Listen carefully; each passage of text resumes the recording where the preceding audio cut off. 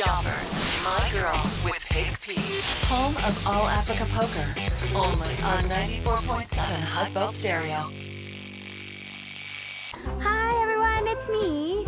Welcome to the yard. And I must say, Graeme is very privileged to see this because this is definitely his biggest competition. Meet Chess. This is my boy Chess. Hello, boy. His show name is Make a Final. So when we go ride in a competition or whatever, he's known as Make a Final because he always makes a final. He's a champion. So and obviously you can see how gorgeous he is. He's got a fit body. This is the basic things you'll need for when owning a horse. You have a halter, so when you're leading your horse to the paddock or at a show, this is what he'd be on. It's almost like a leash. And this is the saddle. This is obviously a show jumping saddle. Um, it's actually a general purpose saddle as it's hollow. It's got a quite a big seat. Show jumping saddle is a bit more flat, and then a dressage saddle is much deeper as you want to get your weight into the horse's back. This is what the bridle would look like.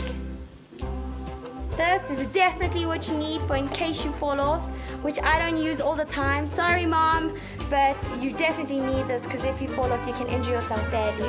Yeah.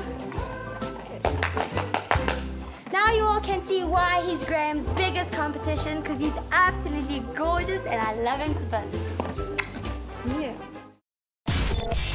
Joffers, My Girl with Piggs Peak. Home of All Africa Poker. Only on 94.7 Highveld Stereo.